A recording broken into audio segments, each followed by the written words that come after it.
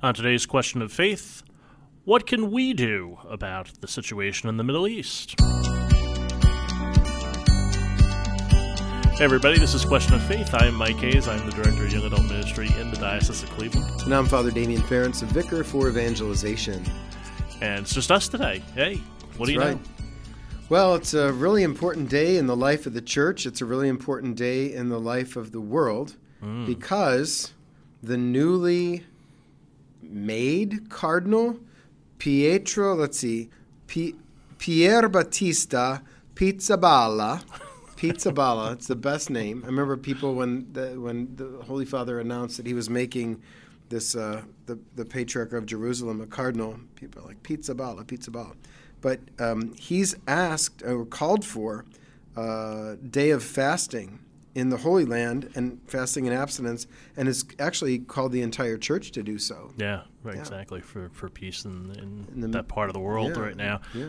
Also, he offered himself in exchange for the hostages that are presently being held in, in Gaza. Which, I, as soon as I said that, I said, you know, I, I reserve this statement for almost no one, but Saint. Yeah. that guy is doing something saintly. Yeah, I mean, that- just amazing. Well, we've talked before about the Apostolic Age, you know, the, the book that the bishop has given to his priests, Oh, right, and yeah. everybody's reading the, from Christendom to Apostolic Age. We're in Apostolic Age, and that's what the Apostolic Age looked like. That the bishops were saying, "You take me, give those hostages back. Yeah. I, I'll die for them." I, as we celebrate the feast today, we just had mass uh, with a lot of folks from our floor. Um, celebrating the martyr Ignatius of Antioch. Yeah. Who knew he was going to die? Yeah. as you said in your homily Yeah. today. Yeah. And that the communion antiphon today was awesome. Like I'll be ground up by the teeth of beasts, so that I'll be a worthy offering or something like Yeah. that. It's really great. yeah. So, go ahead. No, I was gonna say it's it's been a mess over there. Obviously, you know, an attack from, from Hamas on Israel, which you know, a surprise attack. You know, Right. they're they're 9/11. A lot of people are Right. calling it right. Rapes and murders and All these things, yeah. all, all sorts of terrible things. And then you know, and obviously a response back, which has you know put the situation even in more dire than it was Right. before. Right. And uh, you know, Cardinal Pizzaballa was saying, oh, you know, a lot of people have said to me, why don't the Palestinians who aren't, uh, you know, who aren't terrorists, who aren't part of Hamas, why don't they just leave? Hmm. And I said, I said, you know, it's not that easy just to leave. And and that's what the Cardinal was saying in his press conference. He's like. Yeah, you know, it's not safe out there. he said it's, it's safer to stay put in some in some ways. yeah, and you've got. I mean the the tensions in the Middle East, and I'm no geopolitical expert, but I know enough Neither about I. I know enough about the situation. Um, and and uh, so you have the Palestinians, then you have Hamas, who are living in Gaza, who are part of Palis- Palestine, but but a terrorist organization there, right, that attacks Israel. And then what you don't hear a lot about are the Palestinian Christians who are there, who are s- smaller and shrinking in number. But um, yeah, so the question of the day is. What in the world can we do? Because we could read all the stories on X or Twitter, and we could go on watch e- evening news and just look at our feeds and think, oh my gosh, this is everything terrible is happening. So, what as Catholic Christians can we do to assist in this situation? Yeah. And so what is so it? pray first of all. That's it. Right. That's an easy one. Yeah. And fast And and, fast. abstain. And some of these things, I think, often, you know, you'll hear- hear people, they'll say another word, but forget your thoughts and prayers. Um, I like show us action right now. Right.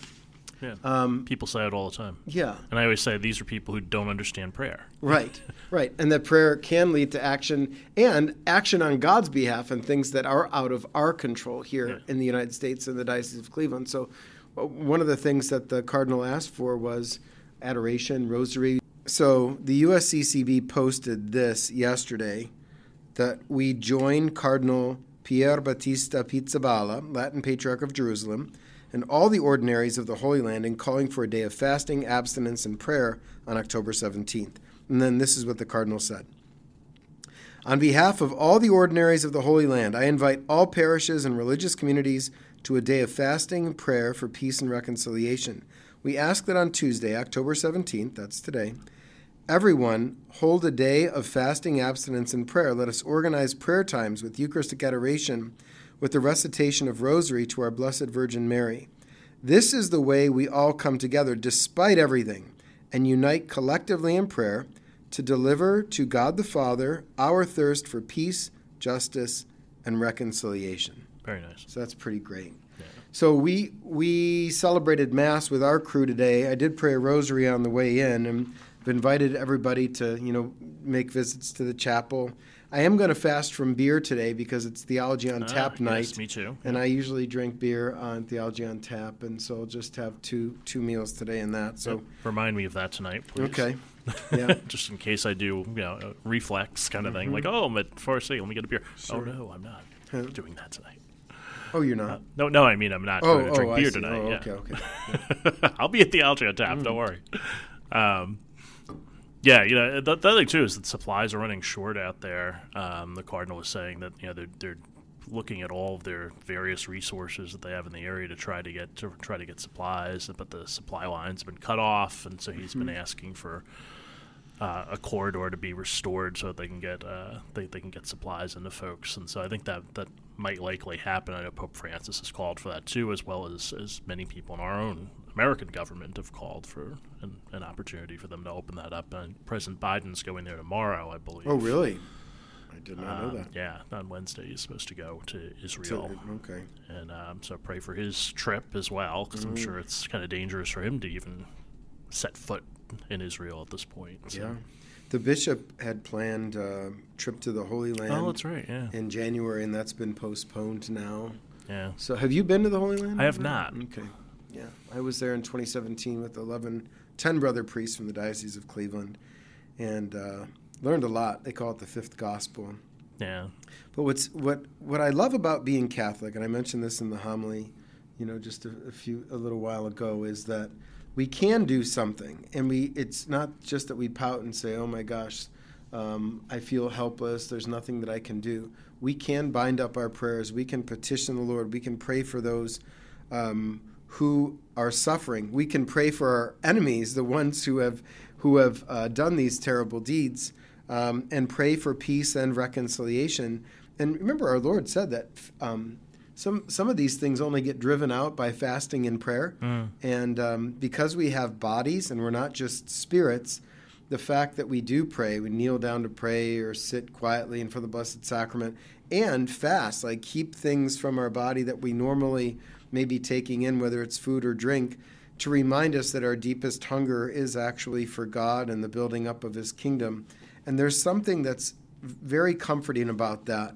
Even after the Mass today, I got in the elevator with Aaron, and uh, we both said that was really great. It felt like we made a contribution somehow. We did our we did our part um, in in responding to the the request for prayer. You know? Yeah, exactly.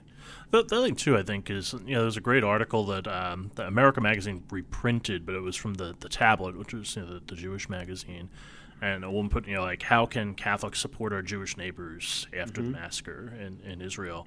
And one of the things she pointed out, which uh, I, which I think I forget a lot, is that you know, Israel seems really far away, right? But to Jewish people, it doesn't, mm-hmm. because they either have family, friends, or they just kind of have an attitude of like connection there, Yeah. right? You know that they, they feel like it's a lot closer than than it actually is in terms of miles, right? Yeah. Um, and so, like, I think really to keep that in mind and to kind of reach out, you know, to, to anybody that you know who might have people there, you know, or, Mm-hmm. or who just feel, you know, that more deeply than we feel it. Yeah. Um, you know, I was telling you before, you know, your Father Ryan Mann has as Jewish. His father was Jewish, right? Yes. Yeah, and my sister-in-law is, is Jewish, Mm. and all uh, my nieces and nephews are Jewish. Um, my sister-in-law married someone Jewish, and they, they raised their family in the Mm. Jewish tradition. So, you know, so I've been reaching out to them here and there, you know, just little notes saying, hey, you know, thinking about you, you know, hope everybody's okay. And, and they often take trips there. And so I asked them, I said, is everybody back in the United States? Was my first thought, you know, and, and no, no, everybody's here. It's fine. Um, but you know, obviously they're they're feeling it, you know, Yeah. and you know, so she she also said that uh, some people have gone as far as to send white roses to the, their local synagogue Oh, as a sign of peace. Which I thought that was a nice that was a nice gesture. that's Um, cool. yeah. So think about what maybe you can do to support your Jewish friends at this point, even if it's just a phone call or a text. The morning of the attack, I was in North Carolina I had a wedding for a girl. She's not a girl anymore. She was when I first met her. She was in fourth grade at Seton Catholic School in Hudson, and she was marrying a guy from Cincinnati. And uh, that morning, I checked my feed, and sure enough, saw this horrible attack of Hamas on Israel. And I didn't say anything about it at the wedding mass itself at the beginning, but I did make a concerted effort to make sure that whoever was there, and I, you know, a lot of times at weddings, you get people who, even if they're Catholic, haven't been to church in a while. A lot of people who aren't Catholic, this is Sure. first time in the church, so it's a great opportunity to evangelize. And just let people know that whether or not you're a daily mass goer and you understand everything that's happening at this mass, or this is your first time in a church or a Catholic church in a long time or ever, like you're welcome here and the Lord wants to do something. So participate as best you can in all this. And that night, one of the groomsmen uh, was Jewish. And uh, he came up to me and he said, Father, when you said that at the beginning, he goes, You know, I'm Jewish and I, you know, I'm not comfortable in a Catholic church, but you made me feel comfortable and welcome, especially in the light in light of everything that was going on in Israel this morning. So thank you for that. It was a it was a it was a, a, a, a great comfort. I didn't plan to do that, so by the Lord's grace that happened. But that was that was a nice um, affirmation. Yeah, yeah, that is nice. When when I was in Buffalo, I became friends with Rabbi Alex, who Oh. was uh, who was right down the block, and as part of my formation there. Uh, I would did a lot of work with the network with uh, the network of religious communities, and uh, so often I would have to uh, do a little reflection on attending um, a local synagogue or another church. So I think that the three that I did, I went to um, the the Jewish uh, the Jewish synagogue. I went to a Wesleyan church. which I'd never been in a Wesleyan church Yeah. before. That was interesting, and um, I went to a Sikh uh, service as well. So it was it was, it was kind of interesting to, to do all that, but. Uh, Rabbi Alex and I would go to, to go to coffee like on the reg, which was really nice, and so we developed a nice relationship. So I have not reached out to him to, as of yet, and so I was thinking about him this morning. So I said I'm going to give him a give him a shout. When I lived in Rome, I used to take long walks almost every night, and I'd go walk over to Trastevere, which is a really cool um, neighborhood across the river. And on the way there, I'd walk through the Jewish ghetto, and there's a a couple markers. There's a marker on a school where children were taken out of school um, during the Holocaust and put in camps. And there's a beautiful Jewish synagogue. Just, just you could see it right from the river, and that was the one that in 1986 John Paul II went to visit. It was the first Oh, time a pope ever visited a synagogue and prayed with the, the Jewish people because his little buddy, I think his name was Jerzy Kluger, was his best friend as a, as a child was a Jewish boy.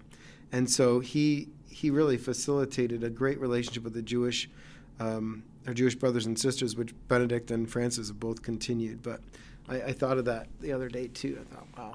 Yeah, yeah. It's it's it's it's just you know we, we all have connections in some way, right? Mhm. You know, and, and even even our Catholic faith. You know, I mean, we read the Hebrew Scriptures. It's part of our mass. You know, and so Yes. we honor that. Right. Um, I know my my nieces, my and my nephew often um, will have questions. You know that they know what I do, and they and they always come to me with questions. And so we have a great, we have a nice dialogue going on uh, here and there. You know, they they'll ask their questions. I could ask them my questions, and uh, you know, and, and we. One of the things that I really want to do long term. Um, is to think about, you know, there are a lot of families now of mixed faiths, right? Um, and so I said, well, you know, how do, how, and we struggle with this in our own family, right? You know, like, how do we pray for each other when we're of different faiths? How do we do that? You know, and, and, how do we do it together when we're together? And how do we do it when we're apart when we're apart? I think a lot of families struggle with that today. Um, so Ed Hanberg over at uh, John Carroll University said he's seen a lot of that in his students who come, you know, with, with little Sure. or no religious experience Right. sometimes. And he said, and if they do, sometimes it's a mixed faith experience. So he said that uh, he's been talking with them about, you know, how they might how they might have dialogue about that as as fellow students. And I said to him, I said, you should do that as families.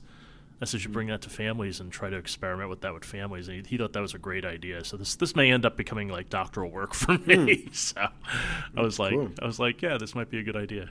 Um, so, yeah. Cool. Well, we didn't talk about what church we're going to visit. So, which ch- church? I was thinking we, we should go to the east side where our Jewish community actually lives. By the way, have you been to the Maltz Museum? Yes. Yeah, I've been not as well. recently, but I drove by it the other day. Oh, interesting. But I it was at night, so I didn't stop in. But Yeah. uh, yes, I've been there. yeah, I've been It's there a couple times myself. It's really wonderful. If you haven't been there, go. It's it's it's really it's, it's really moving. Uh, but I thought maybe Gesu is Oh, on the east side. sure. Uh, You talked about Gesu this morning in your homily. I thought so. I was like, that's a good place to go. The Jesuit church over by John Carroll there. Yes, right across the street. I think it's Miramar Boulevard. I think It's- that's correct. Yeah. It's got more marble than most churches in the whole diocese, but it's it's beautiful. And we host our CLE 216 uh, youth conference there. So a lot of it's at John Carroll, and then the adoration and confession takes place in that church. Right. Um, I used to spend some time in there between classes when I was a student at John Carroll. Um, they've got a grade school there. Father Lucas Mm-hmm. He's Laniauskas is the uh, pastor. He's a Lake Catholic grad, which is kind of cool, Mhm. and did part of his Jesuit training in Lithuania, and he's bilingual. So, Yep. good man. You you may remember him from our videos on the Eucharist, uh, where we asked our, our presbyterate, what a, what does the Eucharist mean to you? And he was saying that every time he consecrates the, the Eucharist, he said his hands still shake to this Yeah. day. And he said when he lifts the host, he sees the body of Christ and all the folks. I thought that was really moving. So, Yeah, he he offered a retreat this year for our seminary, St. Mary's Seminary, and he offered a retreat day for Bishop senior staff, which was really great Yeah. on the Sacred Heart. So. Yeah, so that's Gesu over on the east side. Check it out. Uh, readings for this 29th Sunday uh, from Isaiah this week. Uh, for the sake of Jacob, my servant of Israel, my chosen one, I have called you by name, giving you a title, though you knew me not. I am the Lord, and there is no other. There is no God besides me. It is I who arm you, though you know me not, so that the, toward the rising and the setting of the sun people may know that there is none besides me. I am the Lord, there is no other. Thought that was appropriate for today. Mm, yeah. Um, for me too, I think that it's also you know just a reminder that God will be with us, uh, even in our trials. Readings today, actually, that you that you read today, were Mm-hmm. Yeah. also along the same lines. Uh, I will. I'll go with the gospel. So Jesus is asks for a coin. He says, "Whose image is this? Whose inscription?" They replied, "Caesar's." And at that, he said to them, "Then repay to Caesar what belongs to Caesar, and God what belongs to God." Many ways to interpret this. My favorite way is what doesn't belong to God. Hmm. Everything belongs to God. So whatever you're doing, however you're living, always have the context of that all of eternity. There's you don't partition your life and this is my political life here and this is Mm. my um, social life here and this is my sexuality here and this is my leisure life here. No, it's all it's all for God. And so it's that broad Catholic vision of things. I think is God in super all helpful. things, That's yeah, it. Oh, exactly. I, I quoted a Jesuit. Uh, well, I did go to Jesuit college. I went to. John Carroll. So That's what the right. heck, yeah. I was also say that for me that that gospel's often about withholding, right? That people are, are really eager to withhold taxes from Caesar, and Jesus turns around and says, "But what do you withhold from God?" Oh, very nice. Yeah, Well, God gives us everything, so we need to return everything to Him. Absolutely. And so coming your way soon on this podcast, we'll have some video. We got some cameras in here now, so we're gonna we're gonna do that. We're coming up on hundred episodes. I think we're about six away now. Nice. Uh, so for the hundredth, I think we'll kick that off uh, with our buddy Jeff Stutzman, who'll come in and help us. And, Oh, uh, so that'll be fun. And then um, if you have questions, you could send those to us, mhays at dioceseofcleveland.org, and we'll answer your question of faith right here on this podcast. We'll have all that and more next time on Question of Faith.